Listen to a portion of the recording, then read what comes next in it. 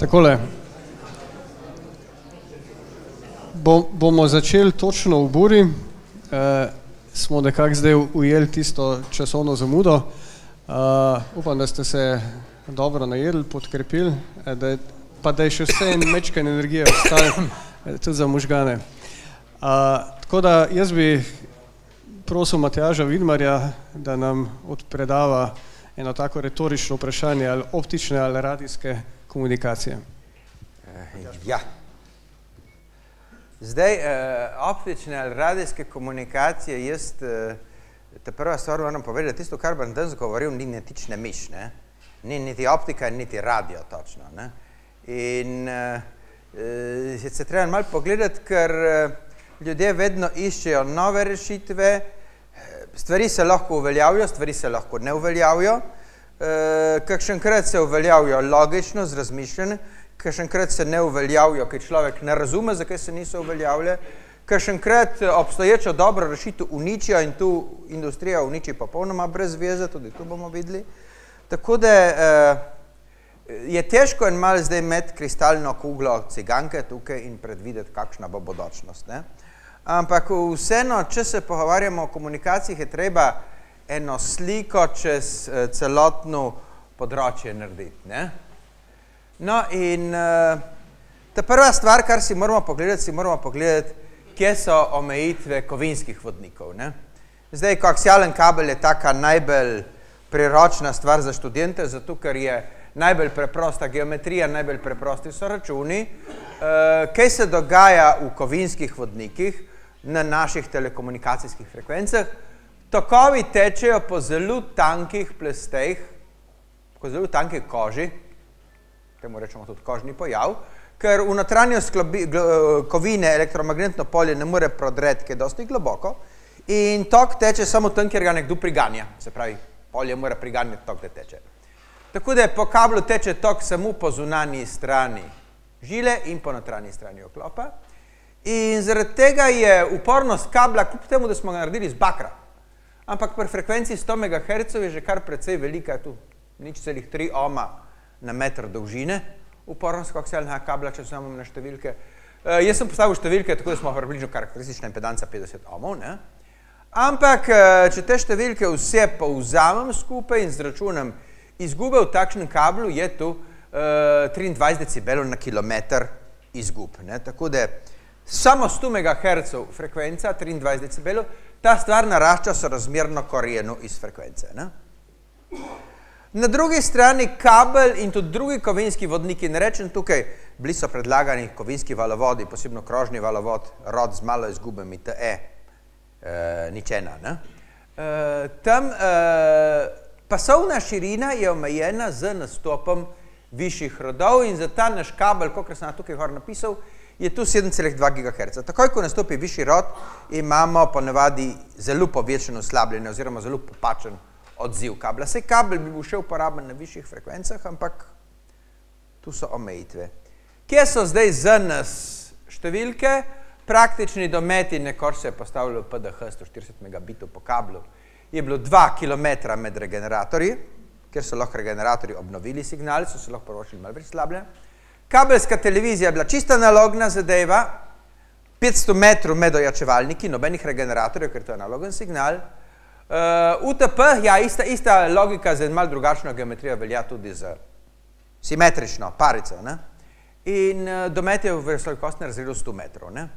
ne sem, da smo vezani na praktični domet, vezani smo tudi na praktično pasovno širino in ta praktična pasovna širina najbolj tepe, nas najbolj tepe, ker se pogovarjamo o merilnih inštrumentih. Ne? Uh, kupiti karkoli deluje nad 26,5 GHz, se mi pravzaprav vtičence nimamo za tisto dobre. Ne? Se inštrument se mogoče da narediti, ampak utikači taki, da bo izdržali vsako dnevno rokovanje, jih ni. E, dobro, industrija je šla in naredila tudi konektor dvojni V ali pa en milimeter, ki je enorodoven do 110 GHz, ampak e, jaz vem z izkušen že konektori K ali pa konektori V. K je 46 GHz, V je 65 GHz, mal garduga pogledaš in je uničen. Tako da Tu, tu ni ena stvar za vsakodnevno rokovanje. Ne? Tako da tista praktična za nas meja je 26,5 GHz, ali pa nimamo kako preključiti te stvari. Ne? Če pogledamo naprej, kaj je z optiko, pri optiki imamo ta naš lep gradnik že 40 let, eno rodovno svetlobno vlakno, mislim, da je 40 let, kar so dosegli te številke, ne? Predvsem nič celih 2 decibela na kilometr slabljenja. Ne? In približno te izmire. Tu se kaj bistveno ni spremenilo z leti. Uh, edina stvar, kar se je spremenila, tolerancija izdelave so strožje. Ne? Strožje tolerancije izdelave, uh, kar se pozna mogoče pri izrojenosti osnovnega rodu, kjer je ta koeficient polarizacijske rodovne disperzije uh, dosti, dosti, dosti nižji uh, za sodobne vlakna kot za stara vlakna. Ampak drugo, več ali manj vlakno je ostalo takšno, kot je. In uh, kakšne so njegove omejitve? Dobro, pasovna širina 20 THz, ki jih uh, ne moramo izkoristiti, oziroma jih niti ni smiselno izkoristiti, ker smo bolj omejeni z močjo na enem koncu, pa s šumom na drugem. Ne? Če razmerje signal šum preslabo, teh 20 THz nam nič ne pomaga. No, te 4 THz, kar daje sam po sebi RB ojačevalnik, tu je, uh, tu je uh, uporabna zadeva. Ne? Tu je zato, ker RB ojačevalnik jih znamo narediti zelo dobro, tudi že 30 let. Ne? RB ojačevalnik ima 30 let danes. Ne? Uh, in uh, če vse te omejitve, kar je treba pa tukaj vedeti, je, da Jaz imam sicer 4 THz na razpolago.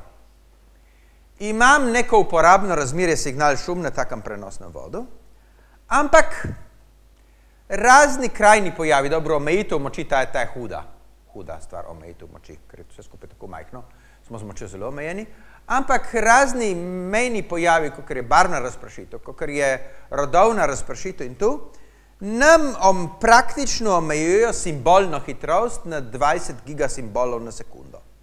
Zdaj, ne mi reči, jaz sem pa videl članek, kjer je bilo 320 uh, giga, uh, gigasimbolov na sekundo.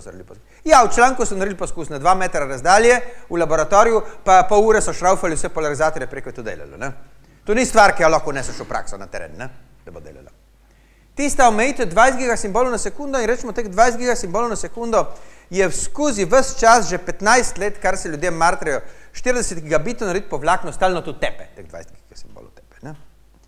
E, približno je tudi takšna omejitev, kot je bila pred 60 ali 70 letmi, pri radijskih zvezah preko ionosfere, preko ionosfere imamo omejitev 100 simbolov na sekundo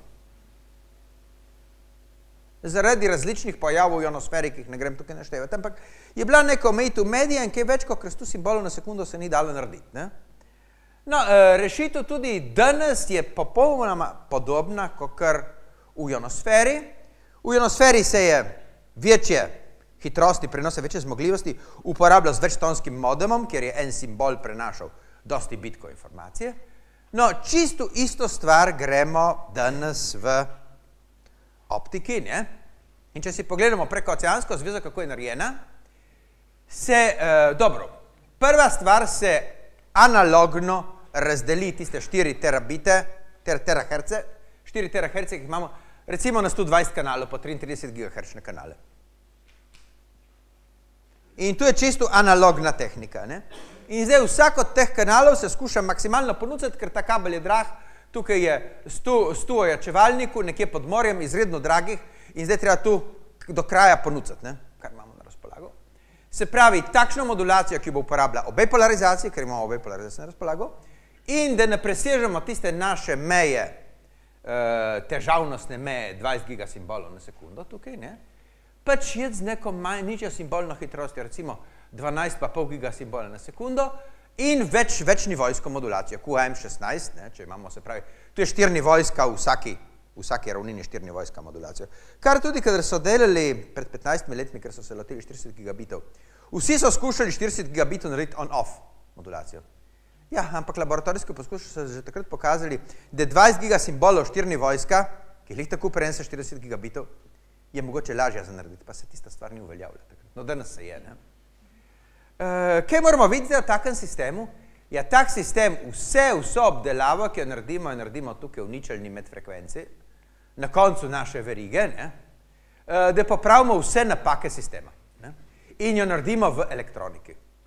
Tukaj ni nobene optične obdelave noter, kar vsi so klicali optično obdelavo signalov, ni nikjer. Mi imamo samo en linearen, zelo kompliciran, zelo zahteven linearen sistem, da prenesemo ta analogen signal, zdaj na konca, analogen signal, nazaj analogen signal. Ne? Ampak prenos je tukaj čisto analogen, čisto enako vredno, kar se je nekoč delal frekvenčen multiplex v analogni telefoniji. Ne? Z vsemi težavami, ki so zraven in z neko strašansko ceno. Ne? Strašansko draga stvar je to. Dobro. Na drugem koncu obstaja poceni optika. Poceni optika pomeni, da so SFP modulčki, ki vi zateknete v en router in potem hekeri morajo pogledati, da je enak modulček na obeh koncih, da se bo stvar povezala skupaj. Ne? In tisti modulčki danes grejo mogoče 10 gigabitov, ne? Eh, dalo bi se nekje narediti 25 gigabitov, ampak 40 gigabitov se mi zdi zelo vprašljivo. Mogoče se jih da narediti, ampak ni to več tista univerzalna stvar, ki bi jo lahko človek kamorkoli zataknil. 40 gigabitov po enem vlaknu z enim modulčkom sicer gre, ampak ni to tisto te preprosto. Te preprosto je 10 gigabitov preprosta optika. Ne? In uh, zdaj s to preprosto optiko, kaj vse počnemo z to preprosto optiko, počnemo lahko zelo različne stvari. Ne? Lahko je preprosta, preprosta optika, preprosto tehnika prevezovanja, ker je ta naprava tukaj, rabi 100 gigabitov na vhodu, da pošlje 100 gigabitov na izhodu, ne? ta moj linijski oddajnik. Ne? Tukaj so sicer štiri električni signali po 25 gigabitov, ampak to je treba nekako sem prepeljati. Ne? No in preve, uh, prevezovalna tehnika, ta se pravi backplane, kot temu reče, da prevežejo škatle skupaj, ne? ki je lahko tja do 100 metrov razdalje, je lahko optika, je lahko žice. Ne? Pri UTP kablu smo se navadili, da so štiri parice, ja, za više hitrosti so tudi kabli, ki imajo 10 paric, 12 paric, bakrenih, ali pa imajo štiri vlakna, pa 10, ali pa 10 vlaken. Ne? Se pravi, ista stvar se počne z vlakni, ker smo enkrat na kratke razdalje so razvili pač konektorje zaradi preprostosti, zato da ohranimo nizko simbolno hitrost pa preproste sprejemnike, oddajnike, pač imamo več vlaken usporednih lahko tudi en grobi VDM, ne? ampak vprašanje, če je upravičen tukaj, ker grobi VDM pomeni toliko in toliko kompliciranih gradnikov več, ali pa nekaj vlaken več, ampak vlaken je to poceni stvar, vse ostalo je drago. Optika, je draga. Ne? No, uh, na drugi strani, kaj danes vidimo? Danes vidimo, da na drugi strani, da tista končna računalniška oprema se je nekje zakantala, ne? Zakantala, da danes uh, osebni računalnik obrnete, a kakor hočete, ampak več kot 30 megabitov na sekundo ne uspe ustvariti ali pa požreti. Mi jih ne uspe narediti tega. Razen pri speed testu, ampak kdo je speed test. Gledamo, kje, kje bomo imeli od tega računalnika. Ne? In tukaj zdaj, zakaj se je tukaj Billy Gates ustavil, jaz vam ne vem povedati. Ne? Billy Gates je pred 30 leti dal izjavo, da 64 kilobajtov pomnilnika bo pa za vse večje čase zadosti za vse možne uporabnike. Ne? To je izjava od Billya Gatesa. Se pravi, Billy Gates ni ravno človek, ki bi mu jaz lahko, ni ravno mož beseda, ne? kar bi jaz rekel. Ne? Ampak kaj je posledica tega njegovega ravnanja? Posledica tega ravnanja je, da danes celo, če gradiste na manjše omrežje, celo za hrbtenične zveze, so lahko taki 10 gigabitni SFP modulčki preko glave zadosti. Uh, jasno, nobena spektralna učinkovitost, medtem ko tukaj smo imeli neko kar dobro spektralno učinkovitost za optiko. Ne? Tukaj nihče ne pazi na spektralno učinkovitost, tukaj je sploh nepomembna. Ja, uh, celo tu, ker so, imamo toliko uh, zanikrne uporabnike, ki se nič kaj dosti na, uh, na, na, na beljo glave, koliko megabitov dobijo, ne? Ja, celo teh 2,5 gigabita ali pa 10 gigabitov se jih da razrezati na dosti majhnih koščkov ponov. Zdaj, poštari so vsi srečni, da bodo tukaj prodali drobtinice. Ne? Ker to so drobtinice. Ne? 30 gigabitov je drobtinice. Kak, če kakšnekoli zvezi se danes pogovarjamo, 30 megabitov je drobtinica. Ne? In poštari so srečni, da prodajajo drobtinice. Zdaj, Ne več ne vemo, kaj preneša kakšna novotarija, ker Internet of Things je spet ena velika gobezdarija od uh, tr raznih tržnikov na tržišču. Nihče ne ve, kaj bi to bilo, ampak treba je prodati. Ker danes se treba prvo prodati stvar, potem se bomo pa še le zmislili, kaj bi tisto bilo. Ne? Ampak ta prvo je treba stvar prodati. No in eh, nihče ne ve, kaj bo z tega Internet of Things nastalo ven. Ne? Ne, tako da ne vemo, kaj bo, je pa res nekaj, da če Billy Gates tako pomigne z mezincem, pona ni več. Ne? Billy Gates reče, Windows 13 se bo pa updateal samo takrat, kadar je priključen na gigabitno omrežje. Drugače se ne bo updateal Windows 13. Billy Gates nas ima tukaj v rokah. On lahko počne kar hoče. Ne? Da smo se nejasnem. Ne sanjati tukaj o kakšnem, da bo kakšen pon za vse večne čase dober. Ne? Ja, kaj pa, če gremo po zraku? Ne? Zdaj ne bi rekel temu radijska zveza, kaj če gremo po zraku. Ne? Se tu je tudi ena reciklirana slikca tukaj, ki jo imam. Ne? Če gremo po zraku, vajeni smo na radijske zveze, ki so razmeroma uporabne, jih poznamo. Da bi uporabljali optične frekvence, je tukaj nek odpor. Ker vsi so prepričani, da pri megli bo tu padlo dol. Ni res, da pri vsaki megli tu pade dol, ampak eh, nekje ne vem, zakaj optične zveze, svetlobne frekvence uporabljate v praznem prostoru. Toliko. Še manj o toplotnem infrardečem oknu, ki je na meglo dosti manj občutljivo, kot pa vidne frekvence, ampak tukaj še manj. Ne? E, imamo umeseno dokaj široko področje, tako imenovano terahercev, kjer naše ozračje ni prozorno, dosega slabljenje tudi 1000 decibelov na kilometr. Ne? Se pravi, en decibel na meter dolžine, to je ogromno. In na zadnje vprašanje je tudi tehnologija. Tukaj noter smo verjetno najbolj slabo stojimo s tehnologijo. Radio znamo narediti, mikrovalove znamo narediti, Eh, kakšne stvari za vidno svetlobo znamo narediti, ampak že za toplotno infrardeče okno, pogledajte, koliko danes še zmeren stane ena ustrana termovizijska kamera. Ne? To je še zmeren draga reč. Ne? Predvsem skupaj, kar je, kar je zadaj. Ne? Tako da tukaj smo bolj z tehnologijo tudi tukaj noter. Je pa res, da stvari se tudi tukaj se spreminjajo, ker so različne uh, potrebe. Ne? No, uh, ker ljudje razvijajo stvari naprej. Eh, če pogledamo en malček naprej, kaj zdaj tu pomeni eh, stališča zveze v praznem prostoru, ne, eh, se je treba zavedati, da zveze v praznem prostoru lahko naredimo na različne načine. Ne. Mi radio se ponovadi pogovarjamo o tistem, kar je začel že Guglielmo Marconi. Nikola Tesla žal se s komunikacijo ni ukvarjal, on se je ukvarjal s prenosom energije na majhne razdalje no, ni tega nikoli razumel. Ne?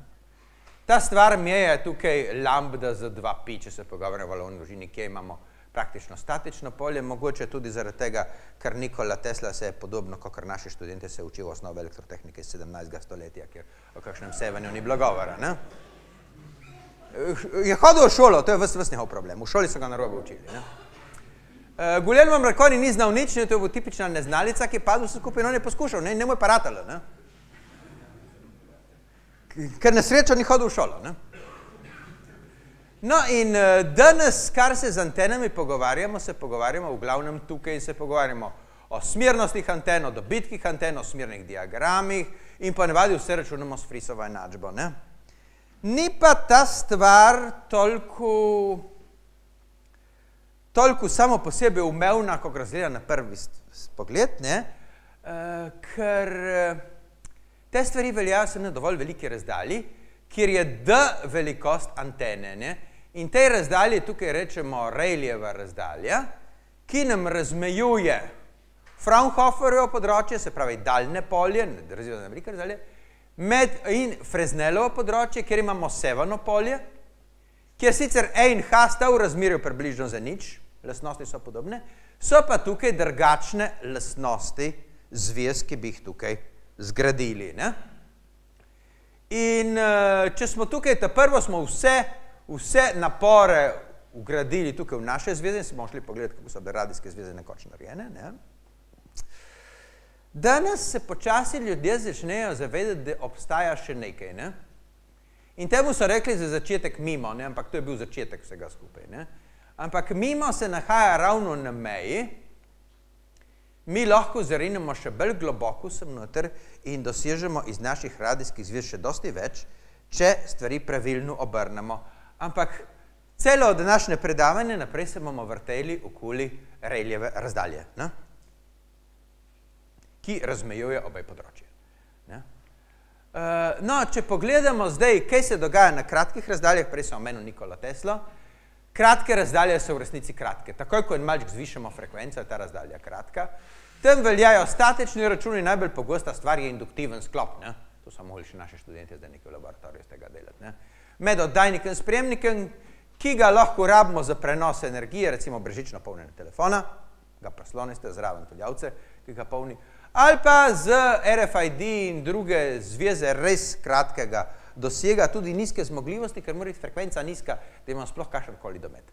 Uh, domet je zelo omejen, pada, moč pada s 600 potenco razdalje in tukaj pointing of vector, da ima en svojo realno komponento, moramo imeti oba dva tak tokova. In ta dva tokova v oddajni in v sprejemni zanki morata biti v kvadraturi, se pravi 90 stopinj faznega zamika, zato da pointing vektor sploh dobi realno komponento. Se pravi, tukaj lahko natančno določimo, kam moč gre. Medtem ko pri sevanju se moč širi v celoten prostor, tam ne moramo mi vplivati, kam bo šla moč. Ne?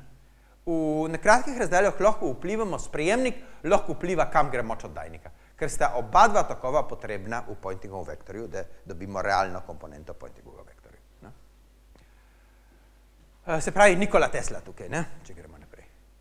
Ja, če gremo pa pogledat, eh, kaj se dogaja v sevanju, moramo še en pojem uvesti in to je prečna koherenca. Ne? In sicer jaz na sprejemni strani lahko zgradim eno polje anteni, spremem vsaka antenica svoj usmernik in kar sem dobil energijo z teh usmernikov se štejem na enem bremenu, ali pa lahko vse antenice skup zvežem na en sam usmernik in samo breme. Ne? Ja, v gornjem primeru je faza nepomembna posameznih prispevkov, ker jaz enosmerno seštem. V spodnjem primer, primeru je pomembna. Ne? Se pravi, tukaj imam koherenten sprijem, mišljen prostorsko, ne pa frekvenčno. Prej pri uh, optiki sem mislil, tukaj sem rekel, da imam uh, koherenten sprijemnik tukaj, ponavadi rečem, uh, se pravi, ki imam zelo podobne frekvence oddajnika in vse obdelam tukaj. Ne temu rečemo koherenten, ampak umišljeno v frekvenčnem prostoru koherenten sprejemnik. Tukaj pa se pogovarjam s koherenci v prostoru.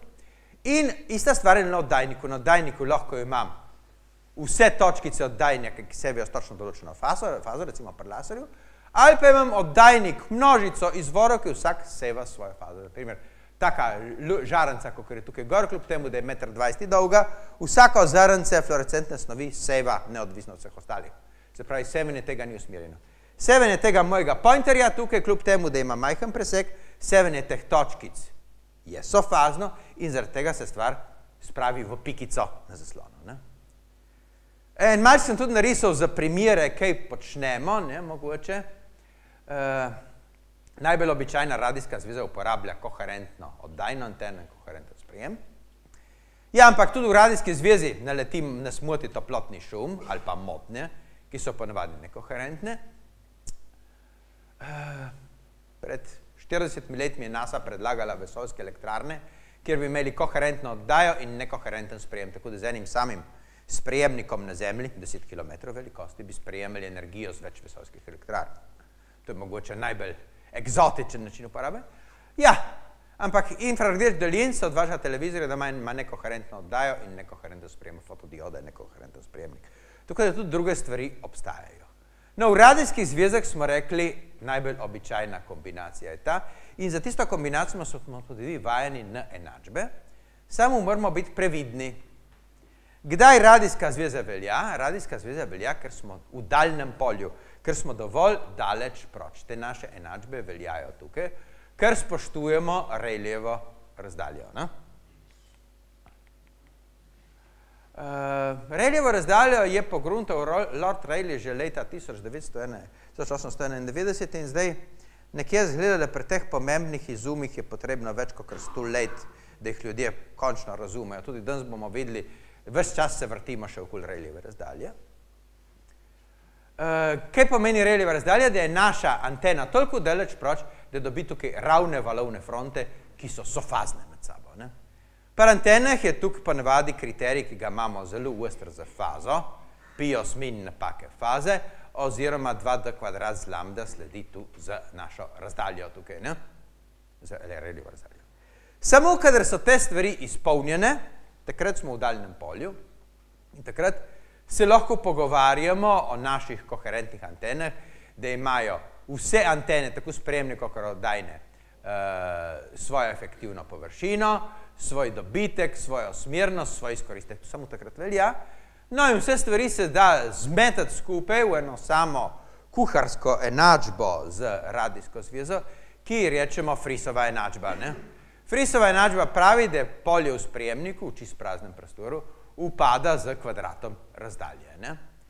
Zdaj, kako upada od drugih veličin, pa ni vseeno, kako smo si nalogo sestavili. Ne? Če gremo pogledat dobrih sto let nazaj, Guglielmo Marconi ni znal narediti kaj dosti usmerjene antene, so bili tukaj dobitki anten, se pravi smernosti blizu, konstantni, blizu enote. In uh, zapisano tako zgleda, da velike valovne dolžine so tukaj najbolj ugodne. Ne? No in takrat pred uh, 120 letmi v resnici prve zveze preko oceanske so šle na frekvencah 100 kHz ali manj. Ne? Uh, vključno s Titanikom, ker se je potopil, na srečo se je potopil po noči, ker je bila ionosfera v takem stanju, da so lahko tu slišali, da se je potopil in v Londonu in v New Yorku. Sam niso vedeli, kaj narediti, to je pa drugo vprašanje, ne? Se je Titanik potopil. Uh, na drugi strani, če pa mi znamo narediti usmerjene antene, pa verjetno je treba plačati, koliko so velike, se pravi, površine anten nastopajo noter, ja, in takrat je pa valovna dolžina imenovalcev. Ta stvar pa pravi čim više frekvence. Se pravi, tukaj je na dobra, dober napotek, da za zveze na velike razdalje eh, z velikim dometem bi uporabljali svetlobne frekvence. Čim više, čim više gre naša tehnika, tem manjšo valovno dolžino tukaj ustaviti. Noter, no, eh, če pogledamo, kam je radijska tehnika danes končala, no, in pogledamo ta prva stvar, usmerjene radijske zveze, kar se ravno zdaj govoril, se pravi, pri usmerjenih radijskih zvez, verjetno smo omejeni, koliko velike krožnike lahko postavimo na hribe, koliko velik krožnik lahko postavimo na satelit, koliko veliko zemeljsko postajo satelitsko si lahko prvoščimo, ne? In kakšni so tukaj računi, danes so, uh, kakšni so računi? Ja, čim višja frekvenca, lambda na minus 2 tukaj noter, ne? Če nas le ne moti ozračje, ne? Ozračje začenja motiti že Eh, mikrovalove, moti lahko tudi svetlobo. Ne? Eh, če naslednje moti zrače, čim više s frekvenco. Čim više gremo s frekvenco, tem boljša bo šla usmerjena zveza, ker je lambda na minus 2 tukaj gor. Ne? Uh, jasno, ker so te stvari navite do konca, kar se tiče dometa, rabijo visoko razmerje signal šum, da imamo čim večji spektralni izkoristek. Tukaj moramo zelo, zelo paziti na motnje. Ne? No, in ker se ljudje med sabo ne znamo zmeniti, ne, je treba vprašati državo za strok nadzor in jim plačati lepo licenčnino državi za frekvenco, ker se sami med sabo zmeniti ne znamo. Ne? To je zdaj posledica tega. In uh, zgledajo dosti časa, da radijske zveze, največje smogljivosti so pri tem države, s tem, da danes imaš preprosto nore številke. QAM 4096. To morate imeti blazno razmerje, signal šum, blazno majhno popačenje, da takšna zveza sploh lahko živi. Ampak se dela, te stvari se počne. Uh, manjše spektralne uh, učinkovitosti pri satelitskih zvezah, zato ker tukaj smo omejeni z močjo oddajnika na krogu satelita. Ne? Si ne moramo pravoščiti velikih oddajnikov, velikih moči, tukaj pa razdalja je velika. Ne? Tako da tukaj ne bo tista številka, tudi BPSK, da se kakšen satelit še uporablja. Ne? Preprosto modulacijo, sam en bit, en bit, zakaj govorim tukaj spektralno učinkovitost, en bit, tukaj bi bil en bit na sekundo na herc pasovne širine. Ne? En bit na sekundo zmogljivost prenosa, na herc pasovne širine. Na sekundo na herc se pokrajša med sabo, zaradi tega spektralna učinkovitost v bitih je merim. Ne? Ja, radio je uporaben tudi na kratke razdalje, ampak na kratkih razdaljah je račun en mal drugačen. Ne? Uh, dobro, še zmeren velja velja uh, Fraunhoferjev ali pa Rayleighov pogoj, da spravi še zmerno smo na velikih razdaljah, ne? kar se tiče izmere anten napram pokriti razdalje. Ne? In uh, tukaj smo pa omejeni z smernostmi anten, ker uh, smernost prenosnega, prenosen terminalček si ponavadi ne more prvoščiti usmerjene antene tukaj. Tudi bazna postaja ne more imeti poljubne smernosti, zato ker uh, mora pokrivati določeno področje, se pravi tukaj smernosti so fiksne in stvari zaradi tega padejo z kvadratom frekvence oziroma naraščajo z kvadratom valovne dolžine. Vse takšne zveze bi želeli imeti pri čim nižjih frekvencah, s tem, da na majhnih frekvencah je malo pasovne širine razpolago, smo s tem omejeni. Ne? Uh, v takšnem okolju, kjer imamo uklone od boja, nimamo neposredne vidljivosti, uh, jakost pada pa navadi za četrto potenco razdalje, nekje od 3 do 5 je ta eksponent, ampak na minus 4 je to. No, kaj lahko rečemo o takšnih, dobro, majhen radijski domet, ampak tu, tu nas ne zanima, če uspemo tu naučiti. Dobro, nizko razmere signal šum, uh, ne bomo imeli kakšnih zelo kompliciranih modulacij tukaj, si ne moramo prvošiti. Ampak sami moramo reševati motnje, ker zelo verjetno sami bomo v našem omrežju ponavljali eno frekvenco. Se pravi, tukaj se ni glih zanašati na državo, da bo delala red, oziroma možnost celo gradnje enofrekvenčnega omrežja, da isto frekvenco ponavljamo in da naredimo takšne oddajnike s takšno modulacijo, kjer se ne motijo med sabo. Ne? Se pravi, tukaj je dosti manj strok, uh, dosti manj strok nadzor rabimo, kot v prejšnjem zgledu. Tukaj smo rabili strok nadzor. Frekvenca za satelit mora biti res prazna tista. Frekvenca za usmerjeno visoko zmogljivo zvezo mora biti res prazna. Ne? Medtem ko tukaj je potreben manj strok nadzor, oziroma celo nelicencirana uporaba, če gremo na Wi-Fi. Tudi nelicencirane stvari tukaj delijo, medtem ko tukaj nelicenciran satelit, ne vem, kako bi se jih obnesel. Ne?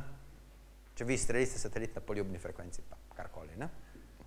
Tukaj pa se, ne? No, uh, kakšne težave imamo? Ja, več pot je nam popači prenosno pot. Najprej so poskušali z adaptivnimi izravnalnimi siti, celo v analogni tehniki, z izganjati duhove, prv z televizije, se veste, televizija, če je bila antena slabo postavljena, analogna televizija so bili duhovi na sliki, samo večina poslušalcev, da nas premladih tukaj, da bi še kaj tega vedla, ne? To obstajalo. Dobro, je bila kakšna zavožena rešitev, recimo razširni spektr in pripadajoči kodni multiplex, Uh, kar se danes uporablja, razmeroma stara rešitev, večtonski modem. Večtonski modem sem vam povedal prej za ionosfero, kjer je simbolna hitrost omejena na 100 simbolov na sekundo zaradi različnih pojavov v ionosferi. Uh, ne samo enega, različnih pojavov. Uh, isto stvar se da danes dosti bolj učinkovito matematično narediti v OFDM. In stvar se je uveljavila najprej v Wi-Fi-ju, potem, ker so videli, da Wi-Fi deluje, potem so to stvar nesli še drugam. Ne? Ampak Wi-Fi je tisti tukaj zastavo noša novih tehnologij. Ne? Sej četrta generacija mobilne telefonije, do cajta so ga bezdali, kaj, kaj tu bo. Ne? In na zadnje so skopirali Wi-Fi. Ne? Pač, e, če, tu je vse v skladu s tistim, kar sem prej rekel. Danes je treba ta prvo stvar prodati, potem se je pa treba še razmisliti, kaj bi to bilo. Ne? Ja, OFDM je zelo prilagodljiv in je zelo, zelo, zelo različen. Recimo v Wi-Fi-ju rabimo hitro sinhronizacijo, ker je tu paketni prenos, so kratki okviri v obej smeri na isti frekvenci. Se pravi, nizko število nosilcev. Obratno za eno frekvenčno mreže, če gradimo DVB-T omrežje, vsi oddajniki na isti frekvenci, rabimo čim daljše simbole, da ne prije do medsebojnih moten in tukaj imamo zelo visoko število nosilcev. In med temi dvemi oddajami, med enim OFDM in z nizkim številom nosilcev in s takim z visokim številom nosilcev, so precejšnje razlike v lesnostih. Tako da OFDM je tukaj zelo ohlapen pojem. Lahko pomeni zelo različne stvari, kjer je ista tehnika zade. Ampak eh, nizko število pa visoko število nosilcev ima zelo, zelo različne zahteve. No, če smo že vtakali naše računalnike v OFDM, naenkrat tisto večpotje, ki je bilo prej nadloga, zgaga, ne, postane koristno, omogoča majmo multiple in, multiple out. Ne. Se pravi, omogoča večrodovni prenos, kar omogoča večjo zmogljivost. Zdaj, tu vse lepo matematično povedano, ne. matematika zmerno se štima, ne. Samo našo deklico, da je treba prepričati, da gre v tako točko, kjer bo največ možnih različnih poti, da ne bomo maksimalno izkoristili, tu pa teže narediti. Se bo deklica prav tja premakala s telefonom, kjer je največ različnih možnih poti. Ne? Ja, in tukaj zgleda zdaj konc zgodbe, ne? Ni konc zgodbe še, ne? Ni konc zgodbe, ker mi smo pozabili na Freznela. Freznel je bo zmeren taka osebnost, pozabljena, zaničevana, ker je Freznel privlekel v francosko akademijo znanosti svoj, svojo teorijo o svetlobi ne? in o razširjenju svetlobe? Se mu je uprl matematik Poisson ne? in rekel, pošlušte, pošlušte tukaj kolegi, če teorija tega Šutesa Freznela drži, tu pomeni, da če jaz vzamem okroglo oviro, da naredi okroglo senco, bi se po Fresnelovi teoriji morala pojaviti na sredini te okrogle sence svetla točka. In tu je bedarija, to je brez veze. No, takrat predsednik francoske akademije Arago, ki je bil politik, tudi velik politik, ne, je rekel, dobro, pa, ki je hotel med obemi speljati, pa dajmo narediti poskus, ne. Ja, in so naredili poskus, ne, in una svetla točka se pojavi, ne, ki se danes kliče Aragova točka, ne, zaradi tega, ne. Ne Fresnelova, pač pa Aragova, ne, ker je Arago bil tisti, ki je predlagal poskus, ne. Poisson je pa vse skupaj zamutil, ne, matematik, ki pa ni, ni nič razumel, predvsem skupaj. Ne, no, kje je Fresnelovo področje, če jaz vzamem eno parabolično zrcalo, ki je osvetljeno z enim žarilcem, preprosto žarilec v gorišču, kaj takšno parabolično zrcalo počne, ne? Ja, zdaj tukaj vemo, da sta dve različne obravnavi. Če jaz pogledam osnovno šolsko fiziko, iz geometrijske optike moram tukaj dobiti vzporedne žarke, ne? Tak vzporeden snop valovanja, ne? Če jaz na drugi strani pogledam valovno optiko, ta snop se mora začeti širiti, ne? No, kje je odgovor, kje se ta snop začne širiti? Širiti se začne približno na Rayleighovi razdalji, kjer ta Rayleighova zdaj, da je tukaj, sem pozabil označiti premjer tega zrcala, da premjer tukaj tudi nimamo označeno tukaj gor, ne? In uh, valovna dolžina tudi nastopa noter, ne? No, in naše običajne radijske zveze gradimo tukaj v Fraunhoferovem področju, kjer je ta prostorski kot omega, v kateri se ta snop valovanja širi, ne? Tukaj se valovanje razširja in zaradi tega imamo odvisnost sprejete moči, kar r na minus 2 se pravi na minus drugo potenco. Ne? Popolnoma smo pa pozabili na to tukaj. Ne? Ja, tu tukaj je razen, razen naših bohih študentov, ki je na vajah iz anten, morajo paziti, da so antene dovolj delčne, razen da slučajno sem noter ne zaide in tu se študenta zmerno zabiča, da ne smejo sem noter prideti. Ne? Uh, no, danes je vprašanje drugačno. Kaj pa, če sem noter namerno gremo, kaj se tukaj dogaja? Kaj se tukaj dogaja? Ja, v Freznelevem področju imam geometrijsko optiko, imam usporeden snop, ki se mu njegov presek ne spreminja, kjer se gostota ne, moči ne spreminja in kamorkoli v Fresnelovo področje postavim sprejemnik, bom imel konstantno sprejeto moč. Ne? Valovanje se tukaj ne širi, samo potuje, ampak se ne širi. Tukaj se širi, v Fraunhoferu se širi, v Fresnelu se ne širi. Uh, večina moči oddajnika lahko zadene lasten spremnik. Če jaz naredim spremnik, ki je toliko velik, lahko vso moč oddajnika, večino, lahko polovim nazaj v moj spremnik. Ne? Nič ne izgubljam tukaj. Ne? Recimo Fresnelovo področje je moralo izkoriščati nasina vesoljska elektrarna, ne? da so vso energijo, kar je elektrarna proizvedla v vesolju, da so polovili na zemlji. Ne? Uh, zelo nizko slabljenje ima takšna zveza, jasno, če sem vso moč oddajnika polovil. Nadzor tukaj je nepotreben, ker če moj oddajnik zadene samo moj sprejemnik, kaj me če kdo nadzirati tukaj, ne? Hveče mu lahko prisluškuje, ne? Ampak nadzor je nepotreben in licenciranje je nesmiselno, če vam delim v teh pogojih. Ne? Se pravi, tukaj je zdaj na glavo postavljena, ljudje od Dahosa se bo tukaj za glavo prijeli, kaj izgovorim, ampak licenciranje tukaj je nesmiselno. Tista stvar, kar je za nas najbolj pomembna, je, da ta stvar omogoča večrodovni prenos. Ne? Se pravi, omogoča eh, spektralne učinkovitosti, ki si jih do včeraj nismo mogli sanjati. In tu bom razložil na naslednji slikci, eh, kar je slaba lasnost Fresnelovega področja, da za naše izmire, koliko dolge zveze bi mi rabili, vse te stvari bi najboljši delali v teraharčnem področju. Ravno tem, ker ima ozračje največje slabljenje. Eh, da se jih narediti v radijskem področju, si bomo pogledali, kakšne so te izvedbe, da se jih narediti v uh, svetlobi, ampak tam je naloga zelo komplicirana. V svetlobi je tu pravzaprav prenos slike. Ne? Prenesemo sliko iz ene točke v drugo točko z pomočjo zrcal in leč, ne? kar uh, otroci v osnovni šoli že poskusijo narediti pri fiziki. Ne?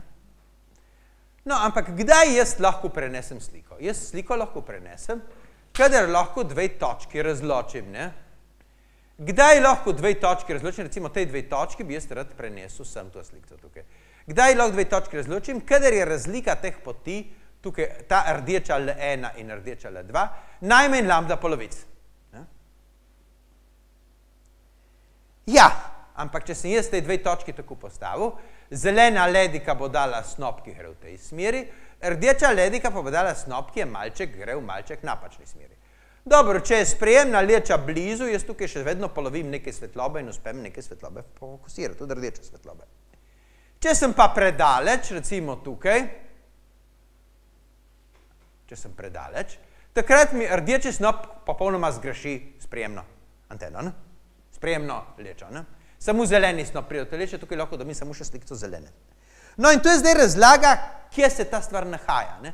Če jaz zdaj z geometrijo računam, vzamem to ekscentričnost tukaj, ki sem jo rabil, vzamem gorišnico moje leče, pogledam, na kakšni razdalji bo ta snop zgrešil, kaj dobim ven,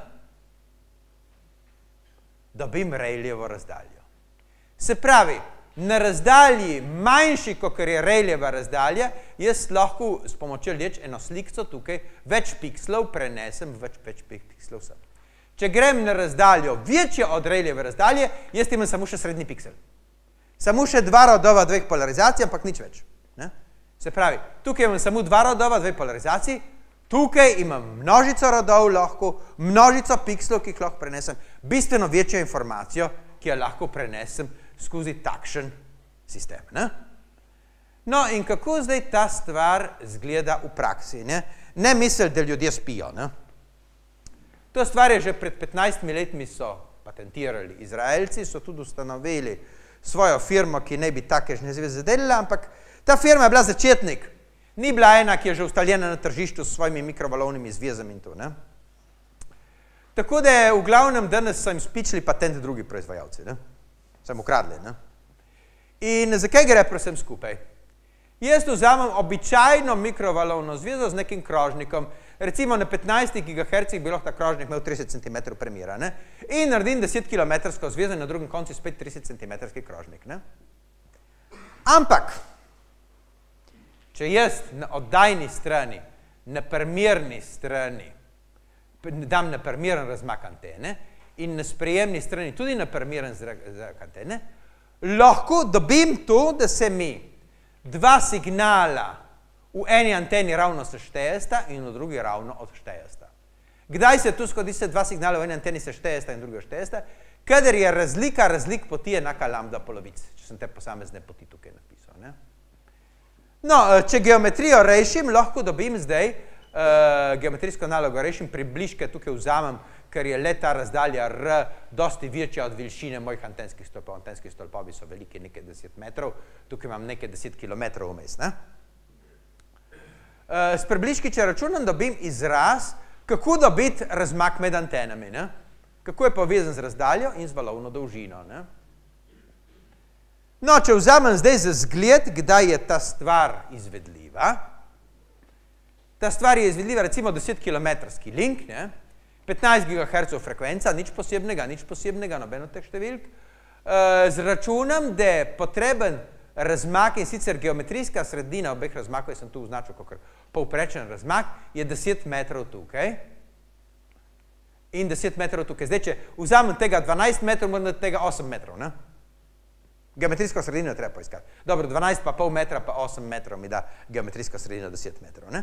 Ampak ni rečeno, da mora biti oba razmak. In kaj takrat dobim? takrat dobim dve neodvisni zvezi na isti frekvenci. Ne? Uh, determinanta tukaj matrike mimo je takrat maksimalna, se pravi, to matriko obrnt je keks, ne? da čist nič ne zgubim pri razmerju signal šum, če je determinanta tukaj visoka. In temu rečemo tudi line of sight time. Ne?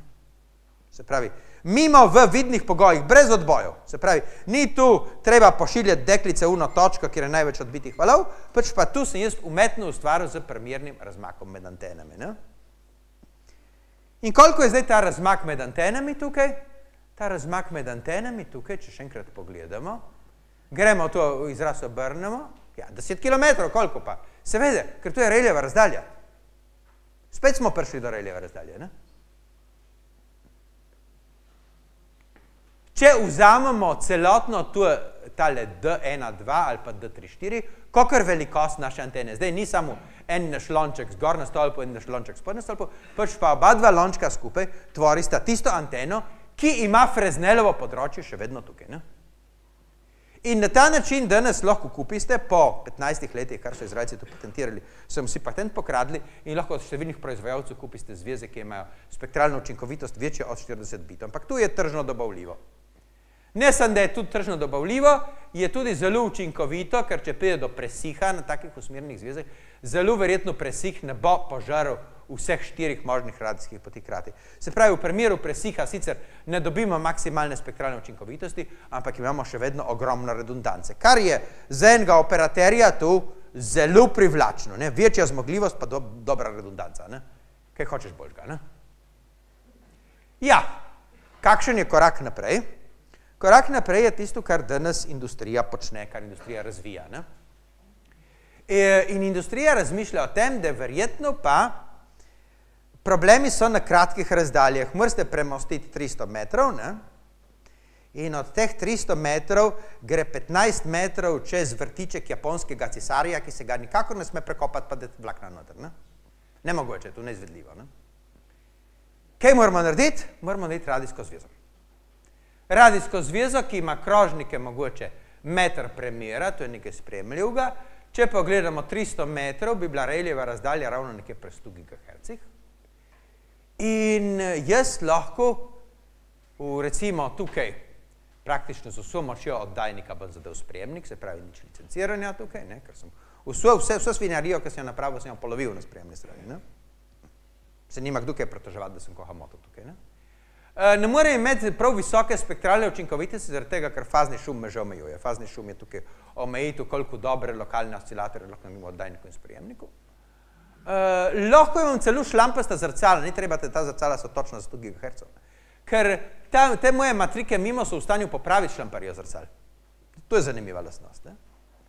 In prepeljem 100 gigabitov z enega konca na 100 gigabitov drugega konca, če se bo zmenili kakšen umestnik za Ethernet na 100 gigabitov bi bil najboljši, ampak to se morajo še zmeniti, ne?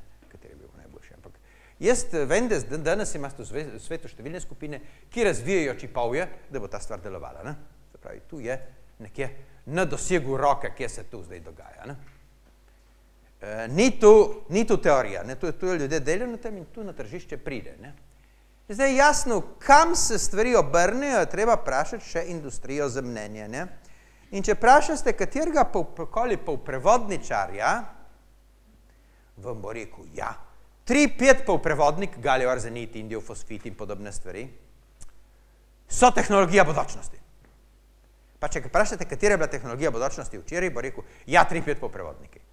In če ga vprašate, katera bo tehnologija bodočnosti jutri, bo rekel, da so tu tri, pet po prevodniki. Ampak če pa v prevodničarju vprašate, kaj je tehnologija sedanjosti, bo je rekel, da je tu silici. In če vprašate v prevodničarja, kaj bo tehnologija bodo, sedanjosti jutri, bo rekel, da je tu silici. In kaj je bilo včeraj, tudi tam je bil silici. Vsa polprevodniška industrija forsira silici, ker tu je deleč najbolj razvita tehnologija. In tukaj je optika zelo nesrečna, ker silicija zaenkrat ne znamo narediti enih uporabnih virov in enih uporabnih detektorjev. Predvsem za vire je najhujši problem narediti silicija. Tri, pet polprevodniki so tukaj nujno potrebni, tizga, kar polprevodniška industrija ne mara. Zakaj ne mara, zakaj so stvari takšne? Uh, jaz bi vas sam tu opozoril na tako preprosto stvar, če ste kdaj imeli upravka z računalniškimi omestniki, takimi low level doma. Ne? Pred desetimi letmi je vse mailov IRDA umestnik, vse telefone si programiral preko IRDA umestnika. Dobi danes IRDA umestnik, če ga upeš kupiti kje pri Kitajcih, nihče več tega ne dela. Uničili so ga, uničili so ga, vse ima plave zobe. Vse ima Bluetooth na radijskih frekvencah, zakaj so tu naredili, ne vem, ampak jaz bi rekel, da tukaj zvezde so se očitno zaklele proti optiki. Ne? Zakaj ne optika, zakaj radio? Jaz, na primer, moja lastna uporabila, IRDA sem rabo tudi za kratko razdaljo skozi vodo. Ne? Plavi zobi ne grejo skozi vodo, ne? jaz sem ostal mrzel tukaj, ne? nimam zdaj kaj več dati, ne? ker ne gre skozi vodo. IRDA mi je šel skozi vodo. Bluetooth ne gre, ne?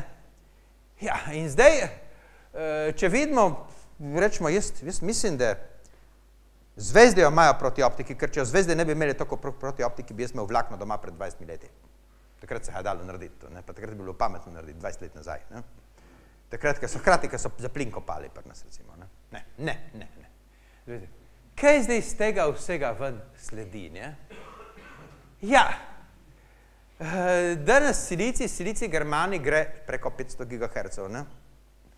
Eh, in tukaj imamo še posamezne pasove, kjer je slabljenje na tistih kratkih razdaljah, tja do enega kilometra, sprejemljivo, se pravi. Stvari so, imamo številne skupine, ki se dajo z razvojem radijskih zvez, za na kratke razdalje, govorim manj kot kilometr, ampak 100 gigabitov, ne? Številne ljudi s tem se vdajajo, ne, da bi tu razvili, ne? Uh, ja, v nekaj letih, gledajte, tisto, kar bo na tržišču, preseže zmogljivost katerekoli poceni optike, ker poceni optika smo rekli 10 gigabitov, lahko 25 gigabitov, ampak tam se ustavimo. Radio je lahko 100 gigabitov, tako, ne? Zdaj, kaj je tu 5G, ne me vprašati, ker tu nihče ne ve, kakšnakoli stvar prečiteste, vse je tako gobezdanje, da človek ne more verjeti, ne? Spet je bilo treba najprej stvar, prod najprej stvar prodati, potem se pa zmisliti, kaj bi tu bilo in mogoče nam bojo vse skupaj prodali kot 5G, to, ne? To je možnost, ne? Tukaj pa se dajem kot možnost, ne, tukaj, ne. Uh, zdaj, licenciranje v Fresnelem področju se mi ne zdi smiselno. Te več rodovne zveze ne rabijo kopanja jarkov, so odporne na buldožerje in na gasilce, ne, in celo na nemarno postavljene antene, ker tisti mimo ostanejo popraviti napake, ker smo mi anteno hotali. Celo tu zna narediti, ne. Tako da, Kar zna industrija narediti, jaz lahko sanjamo vlakno, vlakno do mene ne bo prišlo, ker FTTH postane vprašljiv. A ni tukaj lažje postaviti anteno gor.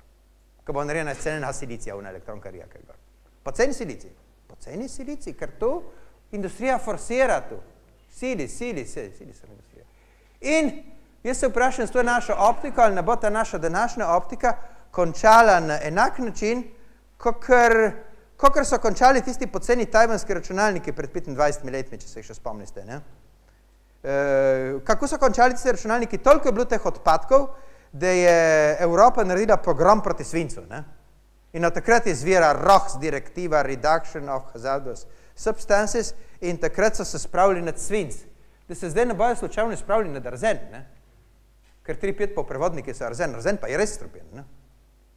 Tako da, kaj se bo spravili? Sicer tukaj moram reči, da kakšen pri nas se je dobro zmazal. Recimo, mobitel, jaz ne vem, kako se je tako dobro zmazal, da je NMT uspel na odpad peljati, ker tiste NMT bazne postaje so vsebovali ogromno berilija in berilij je res kancerogen. Kako je to končalo, to še ne vem, ampak danes so ljudje belo sveščeni, tako da jaz ne vem, kam bojo vse te naše škatelce, ki vsebujejo arzen, kam bo končale. Ne? Tu so moja vprašanja, ki sem jih postavil, sem postavil več vprašanj, kot odgovor tukaj, ampak sem skušal en malček napovedati, kam pa staco moli. Lahko, da sem zgrešil, lahko, da sem uganil, nič ne rečem tukaj, ampak sem dolžan en malček povedati, kam se stvari obračajo. Toliko za danes od mojega predavanja.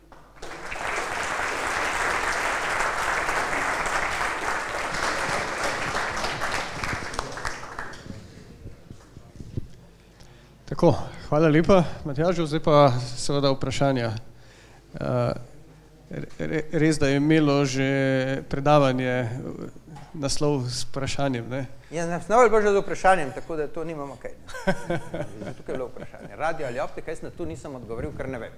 Ne, jaz sem sam povedal, kam se, kam, kam se stvari motajo, mogoče tudi mimo nas, lahko z nami, lahko mimo nas.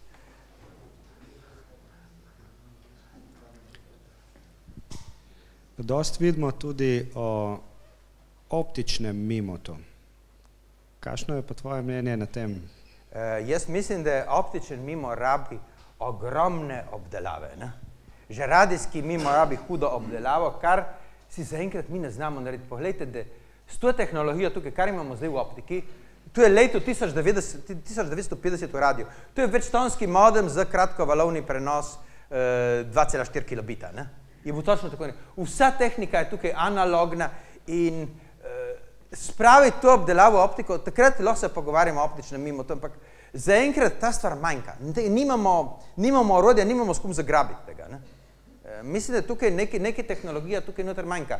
E, se tudi, e, tudi Fresnel, ne? Fresnel postane izredno zanimiv v optiki, še moj zgled je iz optike, tukaj je rdeča pa zelena ledika, ne? da se ne bi lažje razumeti. Fresnel postane izredno zanimiv v optiki, vprašanje je, a znamo mi to obdelati na sprejemni strani. Z radijske stvari nekje znamo, z optiko tega zaenkrat še ne znamo, a bomo tu znali jutri ali ne tudi, ampak vprašanje je, a, a je tu v optiki tista ta prava stvar, ne? Prenesti sliko, ker jaz ne prenašam samo enega piksla, ampak prenesem usporedno 4 megapiksle na 4 megapiksle na drugo kraj. Ne? To je tisti isti problem, kakor, veste, tisti odgovor iz računalništva, kateri je najhitrejši databas. Veste povedati, kakšen je najhitrejši databas v računalništvu? Vam jaz povem odgovor. Najhitrejši databas je čisto navaden avtobus, ki ga napolni se z računalniškimi trakovi. Grejo sicer samo 100 km na uro, ampak tam grejo milijarde bitkov usporedno. In to je delčno najhitrejši databas, če pogledate, koliko, koliko bitkov pride na kakšno razdaljo. Ne? Usporednost je tista finta. Ne? In usporednost je tukaj v optiki ena izredna možnost, ki jo imamo, ne znamo pa še tega obdelati. Ne? Če 4 megapiksle prenesemo 4 megapiksle hkrati na drugi konc. Ne? No, pa če smem komentirati, ker vidim, da je še una slikca tam gor, uh, ki je ostala odgora na živce, tale na, na tabli. Ja. Ne? Tam je ena tretjina, ki, ki je bilo vprašanje, kaj s tisto tretjino. Ne? Pak, mislim, da smo dobili odgovor. Ne? Radio 100 giga na kratke razdalje do enega kilometra. Radio na 100 giga, tu, tu sigurno pride. Radio, ki 100 giga je najbolj uporabna zadeva. Sigurno pride, ker Če... problem, problem ni na velike razdalje skopati ob avtocesti, se da, da cel. Problem je čez unih 15 metrov vrtička od japonskega cesarja. Tam tisto, tisto, je, tisto je grozno težko. Pa relativno poceni, ne?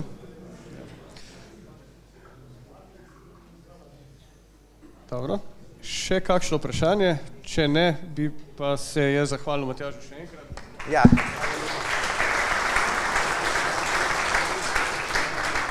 Jaz toliko vsem sem šel opravičilo. Je bilo vse skupaj na vrat na nos pripravljeno, kar sem pripravil za vas.